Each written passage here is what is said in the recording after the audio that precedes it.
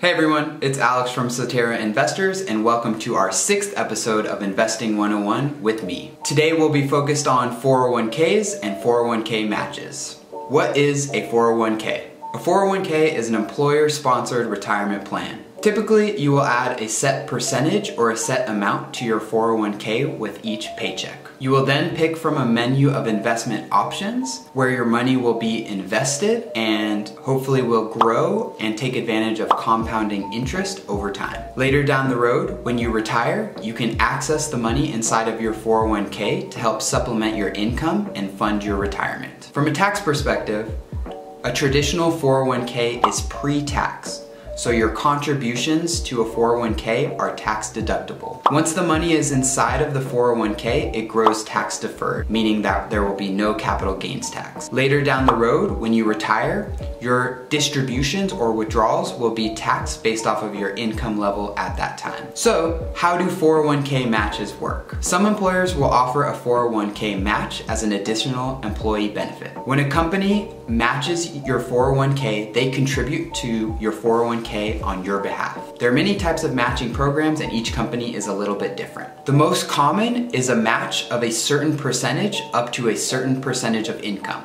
Here's an example. A company might match 100% up to 5%. This means that they'll match 100% of your contribution, dollar for dollar, up to 5% of your income.